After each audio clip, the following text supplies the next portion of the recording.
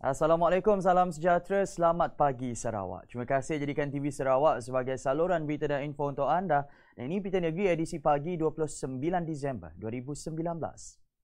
Satu lagi kejayaan yang membanggakan bumi Kenyalang Sarawak apabila SMK Jalan Arang baru-baru ini telah mengharumkan nama negara di Guangzhou, China apabila sebuah daripada pasukannya yang menyertai pertandingan MacX World Championship 2019 berjaya muncul Johan bagi kategori MacX Starter City Guardian. Pasukan dikenali sebagai Sarawak Blue Team yang diwakili oleh Joel Kohlik Sun dan Hee Tuong Jing berjaya menyiapkan misi dengan markah penuh dan mencatat masa terpantas iaitu 2 minit 54 saat. Fong Yut Kuan selaku pengetua SMK Jalan Arang berasa bangga dengan kejayaan pasukan sekolah beliau kali ini.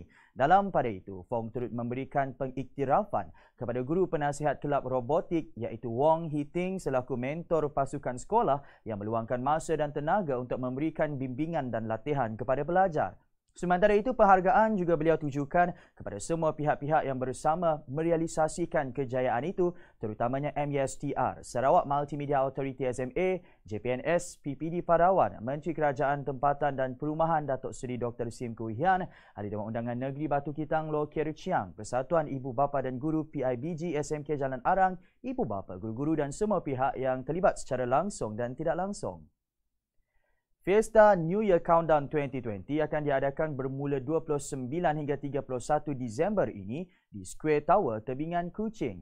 Dewan Bandaraya Kuching Utara di BKU dalam siaran media pada Jumaat lalu menyatakan terdapat penjadualan semula untuk persembahan air pancut berirama sepanjang fiesta tersebut diadakan.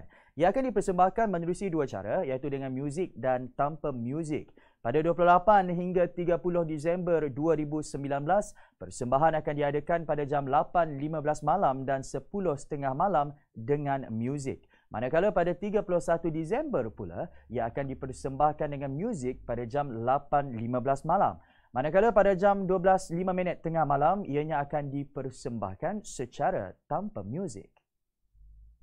Dalam perkembangan lain, Dek terpedaya dengan ajakan seorang lelaki untuk menunggang motosikal bersama-sama bertukar tragedi apabila seorang kanak-kanak perempuan 13 tahun menjadi mangsa rogol beramai-ramai oleh sekumpulan lelaki.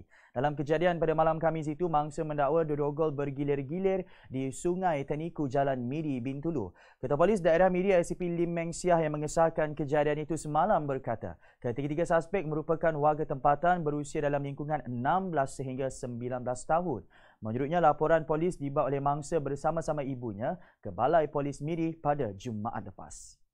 Balik Petang Negeri pagi ini berakhir di sini. Teruskan kesetiaan anda bersama kami di TV Sarawak untuk info terkini. Kami Ghazali Zawawi. Assalamualaikum. Salam hormat.